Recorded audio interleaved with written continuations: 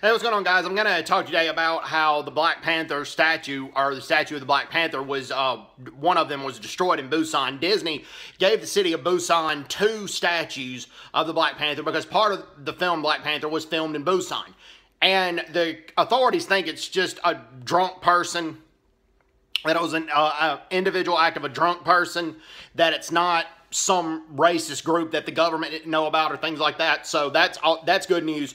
Um, pray they rebuild the statue and then that Disney's able to donate them another one. This destroying the statue like that was a despicable act and it was a racist act and it should be condemned. I mean, as, as I pointed out before, um, you go to the UN Memorial Cemetery in Busan, you'll see that Ethiopia came to the Korean War, and 121 Ethiopians are engraved at the um, UN um, the UN Wall of Remembrance, excuse me, Wall of Remembrance. And you'll see that. And you'll also see the name of Jesse LeRoy Brown, who was the first African American naval aviator. He gave his life for Korea. So it's not, you don't need to be doing something like that. Nobody needs to be destroying um, any statues, obviously. Um, but particularly a statue that represents a positive force like the Black Panther statue does, um, based on the you know the Marvel film, not the not the Marxist terrorist group, the Black Panthers. That's a different story.